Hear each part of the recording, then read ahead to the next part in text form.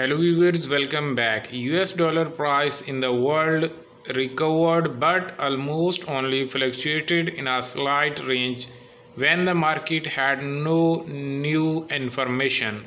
On the morning of 7 June 2023, the US dollar price at commercial banks turned down. Specifically, Exim Bank reduced by 20 dong, bringing the buying price to 23,250 dong and the selling price to 23,630 dong.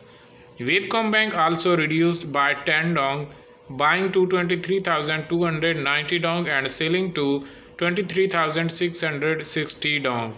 The free US dollar price was bought at 23,450 dong and sold out at 23,490 dong.